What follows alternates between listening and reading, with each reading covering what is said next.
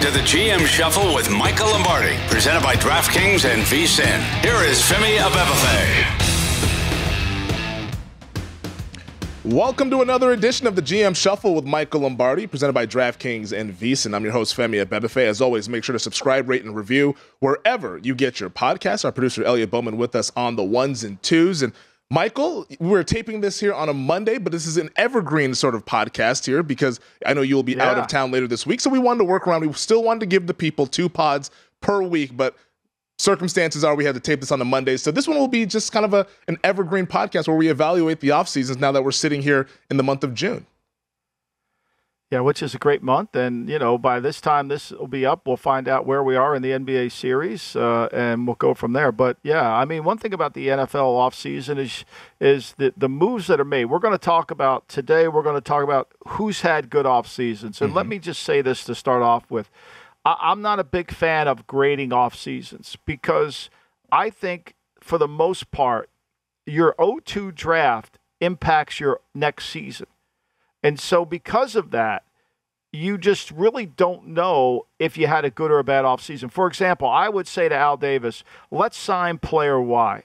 And I had player Y graded as a 6 or a 59. Mm-hmm. And I wanted to replace a player who was a 57. And Al Davis would say to me, I don't want, oh, fuck, I, I don't want to get incrementally better. I want to get a lot better. And so he wanted to make the 57 get coached up to a 59. And I fought that a lot. And then as I got older, I learned to accept it because, you know, you've got to try to work and teach your players how to get better within the system. And we're not equating that when you grade off seasons. Who's yeah. getting better? Who's taking that quantum leap from a year ago to now? Now we know everybody's buzz light years ahead of everybody. We got that, right? we understand they're light years ahead. Yep. However, it comes out on the tape. It's got to be proven. And I think that that's one element of an off season. The other element is like the Chargers, who I have as one of the worst off seasons. But I say that with a caveat. If Nick, if Joey Bosa's healthy, if Slater's healthy, if Mike Williams is healthy for the whole year, if Keenan Allen's healthy, if their offensive lines, Corey Linsley's healthy, those players who really weren't healthy all year and throw mm-hmm. Khalil Mack in there, that gives them a hell of an off season. That gives them a hell of an offseason if they stay healthy for 17 games. So I think you have to be careful judging the off seasons just straightly on who they acquired and who they let go. And we can even throw Justin Herbert into that if he's healthy because he had the rib injury last year that he was kind of fighting through. Yeah, he, he played all those games, but like, clearly you could tell he was a little bit uh, compromise there with that rib injury. So yeah, that's we're gonna couch it with that. However, we are gonna do the exercise, and we're gonna start with our dessert because we like the dessert. We want to get sweet first before we get to the veggies and piss everybody off. Uh, so let's talk about the best off seasons here, Michael. Uh, I know they're not ranked one through five, but you have a category of these five teams that you wanted to highlight that have done well throughout this off season. Well, I, I, mean, look, how do you not think the Jets have had a great offseason? They yeah. got the one of the they got a blue chip level quarterback who didn't play like one last year, but he has the talent to to regain that. Uh, and now, whether he's fallen off the cliff, I don't believe that to be true. I was concerned that Russell Wilson was falling off the cliff, but I don't believe it. Aaron Rodgers. So the Jets, by adding him, and then adding some of the the players that they've added to the team, with the exception of Randall Cobb. I mean, no disrespect to Randall, but you know, Lazard certainly will help them, and their draft will help them. And but I think to me the other thing is, is Sauce Gardner and Garrett Wilson. Those two guys who were great last year, they can improve, mm-hmm. and that'll even make them a better defense. And so for me, you know, when you add when you when you have a team that's a good team, not a great team, a good team, and you put a blue chip level or maybe a red chip level quarterback on that team when they didn't have it, all of a sudden the receivers are going to even get better. All of a sudden they're going to get more production out of other players. Bryce Hall's healthy. Mm-hmm. So I like what they did. Yeah, and I think also even getting Elijah Vera-Tucker, their offensive lineman who they drafted in the first round a year ago or so, and like he's now going to be healthy because you can see that run game kind of took a step back when he got hurt. Like there was one of those injuries where well, it was mentioned, Becton? but how about Becton? Yeah, Becton, yeah. How about if Becton stays healthy and he's ever and he's the play? Look, let me say this about Becton. You can mm-hmm. everybody can make fun of him. But when the big man wants to play, he's really good. Oh, yeah. And when the big man can run block, and when your left tackle can run block like Becton can run block, and you're in 11 personnel, and the slot corners over there is the run force, it's going to get ugly. It'll get ugly. Now they're going to play him at right tackle, which is to me completely ridiculous. I'll tell you the the most important guy on the Jets to improve is their head coach. He's got to get better. And if he doesn't think he's got to get better for all the golf he's going to play this offseason, his ass better get better. He better be talking to people on how I can improve what I do. He's golfing. He's clanging and banging in the weight room. he's doing all those things. Uh, you have one AFC team here on your best NFL offseason. The rest are NFC teams, which I think is interesting because we see the balance of power in the conferences. I think a lot of people will say the AFC is superior to the NFC. So let's get to some of those NFC teams that you highlighted. Two of them are the teams we saw in the NFC title game the Philadelphia Eagles and the San Francisco 49ers. Well, it's easy to have good offseason when you have a good team, right? Because mm-hmm. you add just specific pieces to your team. San Francisco, we had Hargrave. We get Sam Darnold to be the backup quarterback if Brock Purdy can't go.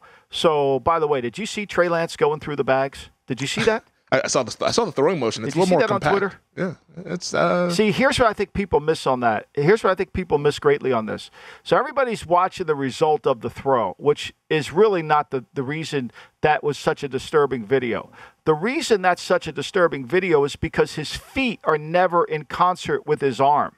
Mm-hmm. So Bill Walsh wanted boxers to play quarterback. He wanted somebody who could jab and move, jab and move, jab and move. So your feet and your arm had to be tied together. That was really critical for him in the quarterback evaluation. Is his arm tied to his lower body? Brock Purdy's arm is, right? Mm-hmm. Well, Lance, when you watch that video going through the bags and trying to tie his feet to his arm, I don't give a shit how much he's worked in the offseason. That wasn't good. That's the main concern. Because, yeah. like a golfer, if his feet aren't aligned perfectly when he's taking the club back, he's going to shank it, which is what he did. No, so he, that that's a concern. I mean, everybody's focused on the result. The feet, the foot quickness was horrible. Is that something that you think he can improve, or is that just an innate feel type of thing? I think it's an innate feel. I think it's just like anything. I think that's what he just doesn't have. That's why Minnesota, you know, doesn't take him as their star as offer him a Division One scholarship. They maybe didn't see that. You know, there's reasons why guys go somewhere. There's a reason why Mitchell Trubisky went to North Carolina. There's a reason why, uh, it, whatever we want to say about Will Levis, that he had a transfer from Penn. There's reasons. You got to figure it out. That's what you do. But I, I like Philly and San Francisco. I mean, Philly's had a, a, lot of pieces. Philly's draft last year I thought was good. Yep. Dean's got to come through for him. He's got to take a giant step. Jordan Davis has got to take a giant step for him. Carter's going to be a good player. They've added some nice pieces along the way. I mean, look, when you've got a good team and you've got an established team, these pieces become heightened that you add. And I think San Francisco and Philly did a nice job. What about Seattle, my old stomping grounds there? The Seahawks, and they were much maligned this time a year ago for everyone was wondering what they're going to do at quarterback. They were comfortable the whole time with Geno Smith. They ended up being proven correct. Uh, what did you make of their offseason here? Because you have them on as one of the best well, in the NFL. I, I think getting Dre'Mont Jones really helps them. They needed a three technique badly. They haven't had one for a while and they needed to get some more bulk in that front. And I think getting Bobby Wagner back, even though he's not the same level player he once was, he gives them some stability in their locker room. He gives them a sense of, you know, we can work through this. You know, we're going to get on this. You know, Jamal Adams will be a, a linebacker in the box, that in the corner. I think to go along with Woodland, you know, that that was another good move. And look, I'm counting on Charles Cross, I'm counting on Abraham Lucas, two rookie tackles who started 17 games to take their game to another level. And I'm counting on Kenneth Walker to stay healthy. I mean, this is a good team, and they've added some nice pieces to it. And they, you know, they're driving the ball down the field uh, to tie San Francisco in that playoff game, and they and they turn it over. You know, and Smith and, and Jigba, he gives them a slot receiver. I mean, they're good, and that offensive line with those two young tackles are only going to get better. Yeah, and you know they're going to be coached up there, and it's going to be competitive in training camp because that's the the, the the lifeblood of that organization. There is competition, and Pete Carroll gets the best out of those guys. The last team that you wanted to highlight is a team that was picking first overall, but it wasn't by record. They traded up to get to that spot and draft Bryce Young. That's the Carolina Panthers. Well, I think you know, as I've been saying on the pod for a while, Carolina's not a bad team. I mean, they, mm-hmm. they, they're not a team that was devoid of talent. They weren't a typical, you know, they, they, they're a couple plays away from winning the South last year. I mean, just think about this. Matt, Matt Rhule's sitting in Lincoln, Nebraska today. He would still be in Carolina if Baker Mayfield had any kind of game in the first five games. I mean, let's be clear here. Right? So they add a quarterback who's got great leadership skills, who's going to buy in. They've got a really good running game. They add Miles Sanders to that running game to go along with Chuba Hubbard. You know, I, I think that'll help them. I know Foreman was a big part of it, but Foreman's, you're always worried about Foreman staying healthy, and you're always worried about paying Foreman. Foreman's the best when he's hungry. And then you then you look at defensively, you know, they've got a good defensive team. Brian Burns got to stay healthy. They got two really good corners. They weren't healthy all last year, so they get them to come back. I think they're going to be a hard out. I really do. I think they're, they're they kept some continuity with a really good line coach, you know, and and so, and so they were able to do that. And I think Frank Reich will get back to running the ball. Mm-hmm. James Campen, the the former player from the Packers, is a good line coach. I mean, he got that offensive line to play at a high level, you know. And, And the North Carolina kid uh, has got to play better at left tackle. He can do that. You know, Taylor Moton's got to play. I mean, they're all going to get better within that same system. So I, I, like Carolina. Yeah, no, I like Carolina as well, and I. I'm I'm very close to just betting them to win the NFC South. Like I'm, I'm trying to play devil's advocate in my head and say, all right, like how does this not work out? Does New Orleans go ahead and beat them? Is it Atlanta that I'm missing on? Tampa, I've kind of crossed off my list there of teams that could win that division. But yeah. I, I really like Carolina a lot, and I'm kind of scared by how much I like them to win that division. I think they put together a really good coaching staff, and they have some really good talented players as well. I, we had a little bit of crossover. I'll tell you, a sleeper player yeah. for Carolina, a mm-hmm. sleeper player for, is Shenault. Yeah, Th- this guy's dynamic. This guy's got Cordarrelle Patterson like run skills when the ball's in his hand.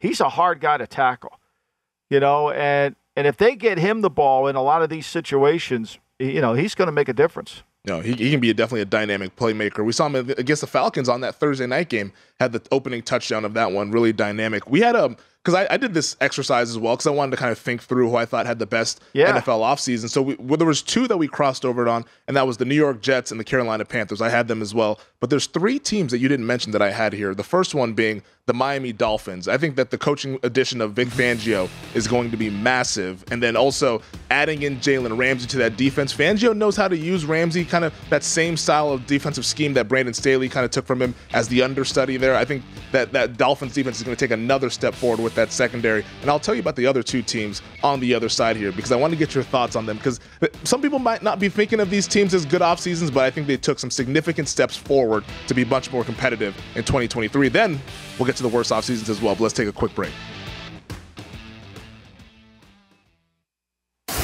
You're listening to the GM Shuffle with Michael Lombardi, presented by DraftKings and VSIN. Here is Femi Abebefe.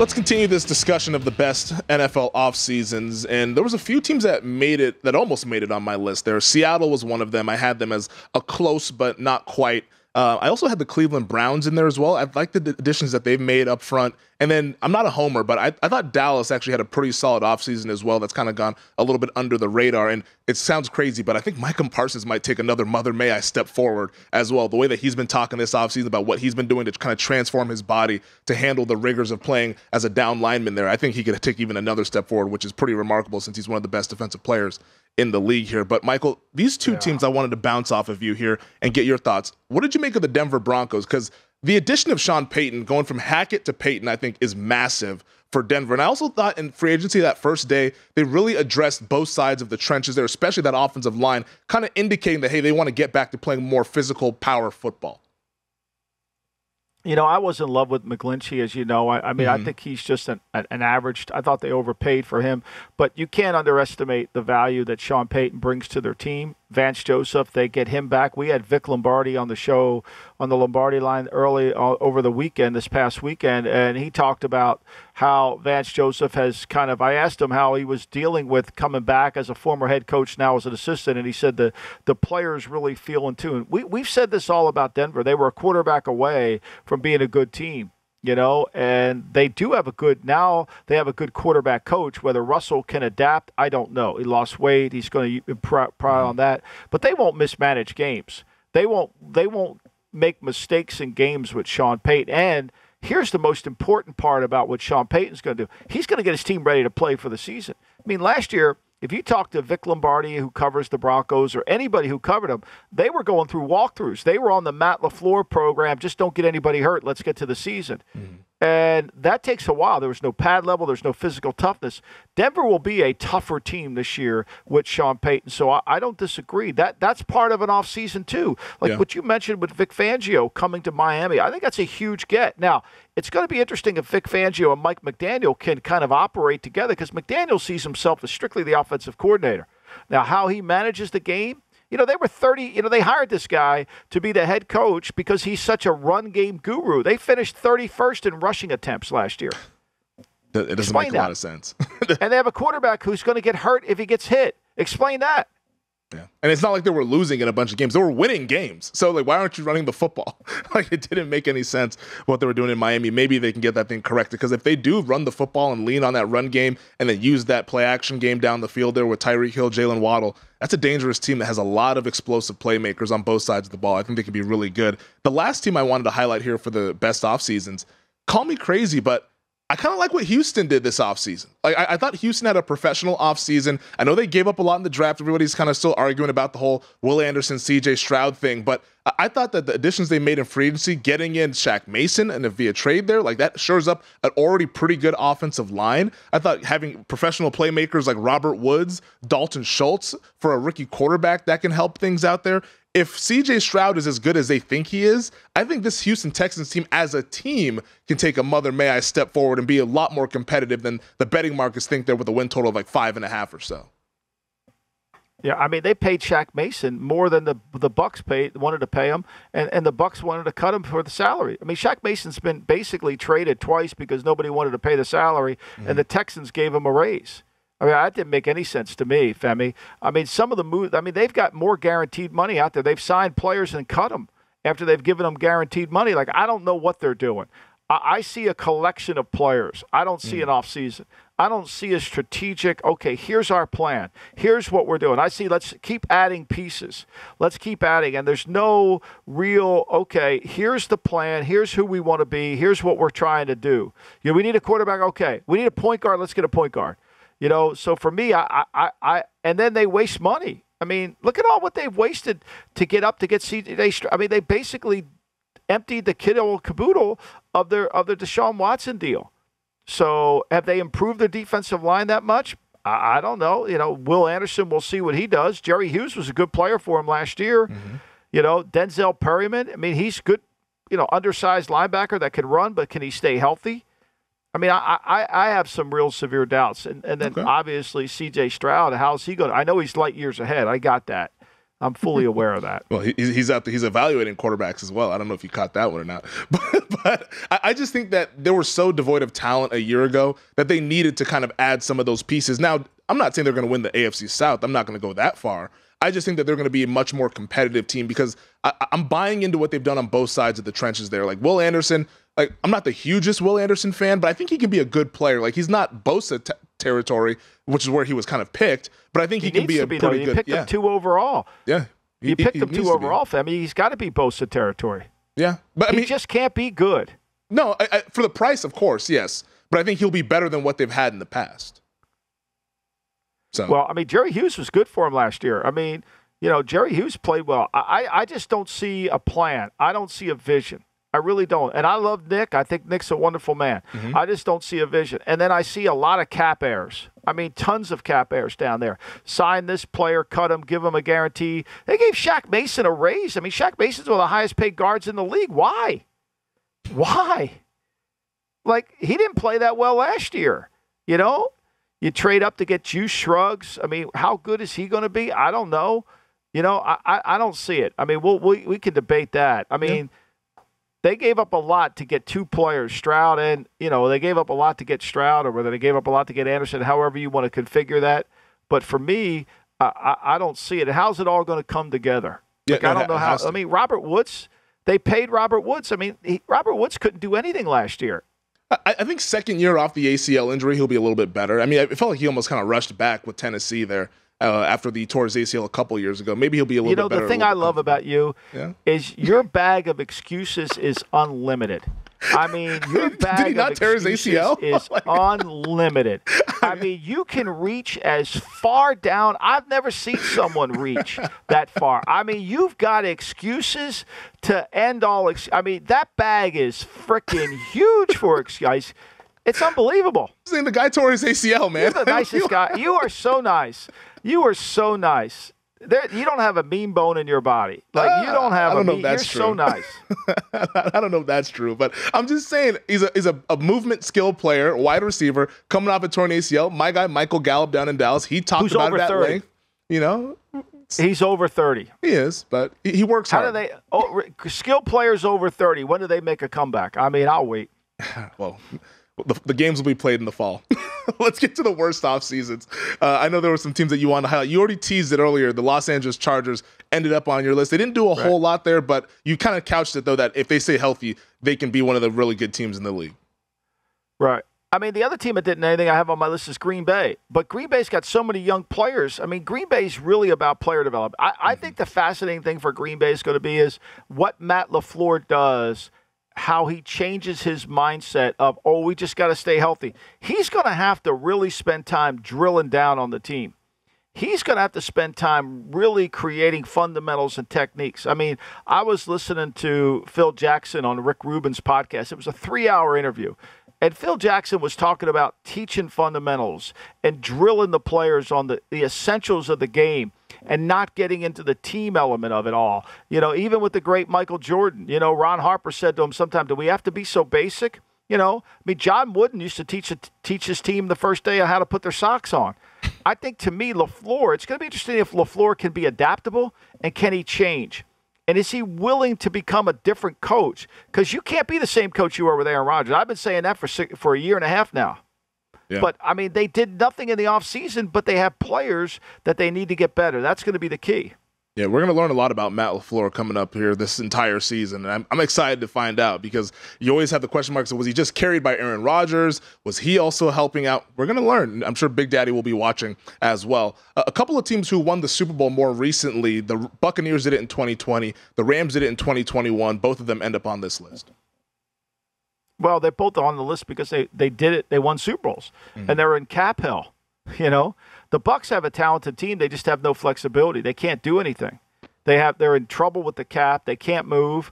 Then the same thing with the Rams. The Rams are going to be this really incredibly young team with a bunch of college free agents. And if Matt Matthew Stafford gets hurt, then they're going to have to play Stetson Bennett, who you know I'm told that Les Snead, their general manager, fell in love with Stetson Bennett. I mean, he loves Stetson Bennett as a player. Thought he was as good as anybody in the draft. So we'll mm-hmm. find out if that's true or not. I don't see it the way Les sees it, but Les is entitled. Like I said, like I said about the draft, you, you, you know, everybody has an opinion. You can't criticize somebody's opinion as if you're right and they're wrong. Mm-hmm. I have a hard time seeing that in Stetson Bennett, but he saw it, so God bless him. But I mean, they're going to play a bunch of young guys now. Well, the other question was, will Sean McVay change who he is? Because Sean McVay's camps have always been more of a walkthrough, keep the team healthy. We got a really good team, which was true, and we just got to get to the season, and we can't afford injuries in practices. He doesn't have that team anymore. He's got to practice. He's got to get these young players reps. Is Sean McVay long for this job here as the head coach for the, the Los Angeles Rams? I think I think he must be because he came back. I mean, there's no way they sat in Stan Kroenke's office and said, you know, I want to come back. And Kroenke didn't say, well, you know, this is going to be a little harder. Like when they picked up the 57 million on Stafford, they went deeper into the hole again. They didn't come up. They're not getting closer to getting out of this. They went deeper into it.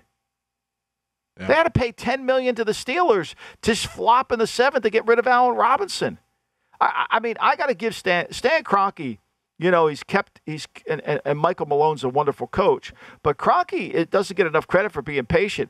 Some of the owners that I've worked for, if I would have paid Robert Woods, if I would have paid Brandin Cooks, if I would have paid Jared Goff, if I would have paid all these players, my and, and they're gone, I would have got my ass fired. Yeah. And Stan Kroenke, he's been one that's not afraid to pay the big bucks to try to build a winner. Which I, I always tip my cap to the owners who are willing to pay to be winners because hey, eh, what else are you in this for? I mean, I get it; it's a money making operation and you're making money hand over fist. But hey, you, you got to be competitive and you got to want to win because that's ultimately what the fans want to see. But but but his vision, his, his patience, is really the greatest virtue. Yeah. No, I, I definitely agree with that because uh, they're going to definitely have to be patient to get through this. Uh, the, the, the, dark times of the salary cap hell that they're in as well. Uh, before we head to break here, I wanted to tease this one up there because there's a team that's a big favorite in their division that ended up on this list. And I think a lot of people are expecting to take that mother may I step forward as a collective there, maybe even be a potential Super Bowl dark horse. We're going to talk about them on the other side. This is the GM Shuffle with Michael Lombardi.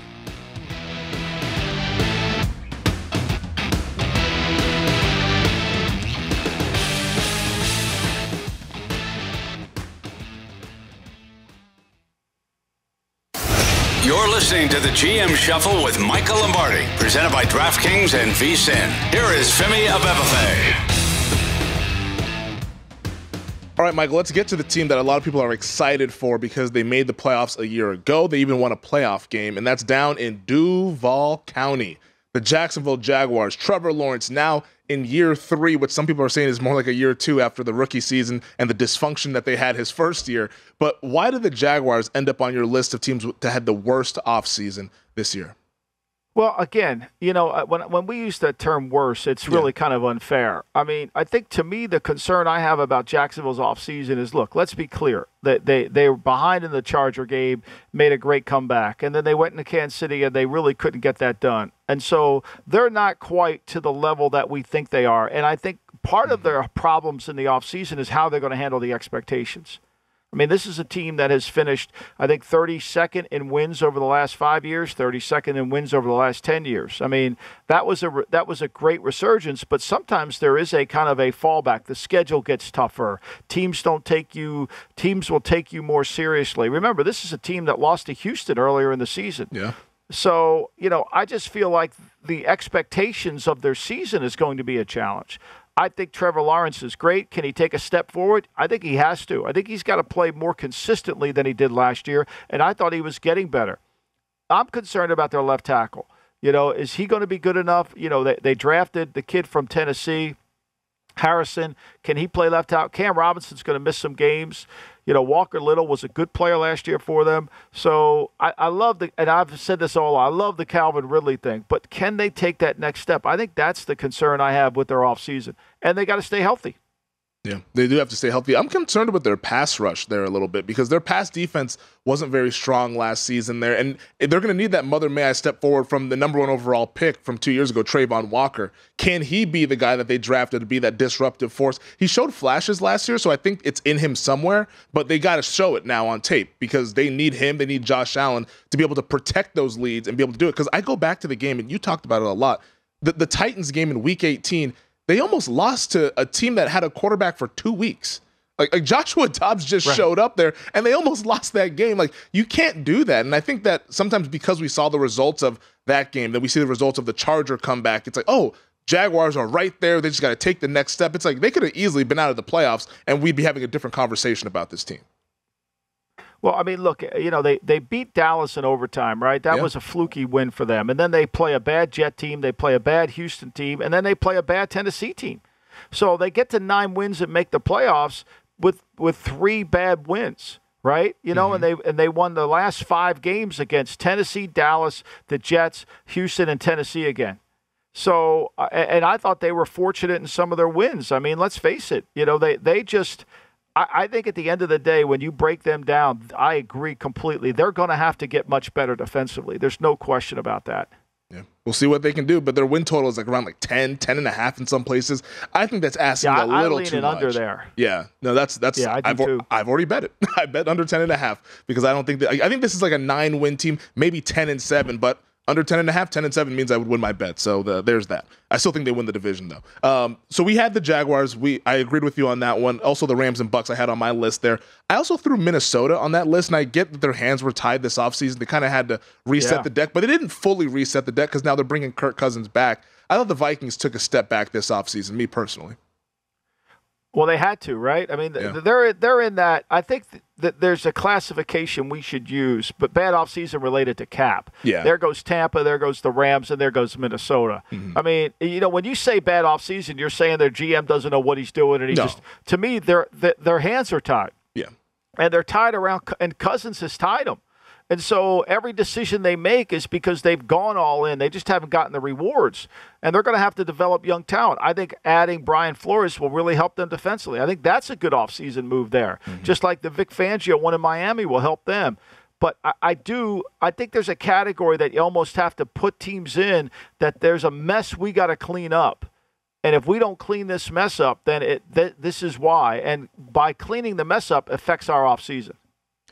What did you make of Tennessee's offseason? Because the, the losses on the offensive line, those concern me. Like Ben Jones was one of the leaders on that offensive line. The center, Taylor Lewan, he had his injury issues, and I guess it kind of gotten used to playing without him, to be honest. But like losing those kind yeah, of pillars of the organization, I think that's a little bit tough to overcome. Well, but I mean, here's what I would say to you on that. None of those guys played any good, so why do you care if you lost them?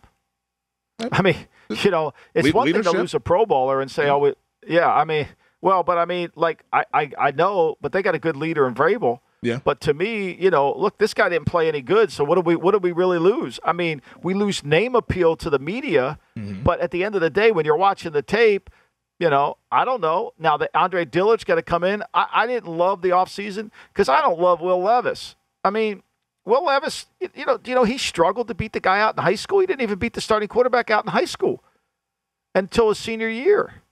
So, like, I'm not in love with Will Levis. So, you know, I think that's going to be a problem. And defensively, look, that, I, but I, I love Vrabel. I think Vrabel mm-hmm. makes this team better. So I don't doubt him at all. You know, R- Vrabel definitely raises the floor for that team there. What he's able to do as a head coach always has him ready to play. David Long, I know a guy that we're both fans of. He deals with injuries as well, if he can stay healthy. But he's now in South Beach in Miami.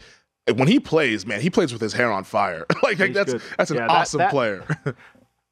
that's under a radar signing by Miami that was outstanding. And it, and he if he stays healthy, he'll really make he'll make their defense faster. Because as I say all the time, when your Mike's fast, your defense is fast. Mm-hmm. When your Mike's slow, your defense is slow.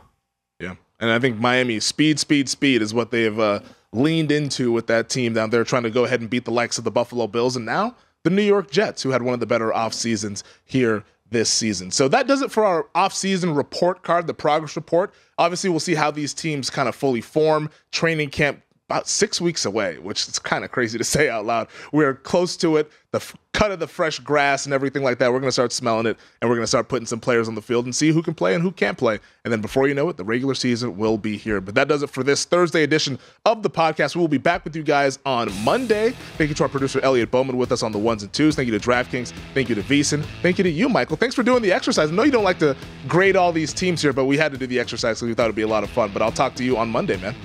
Thank you, Femi, and I love your bag of excuses. It's brilliant. There's nobody has a bigger bag. I gotta. I couldn't even buy you a big enough bag. It's a year two off the ACL. He'll be much better.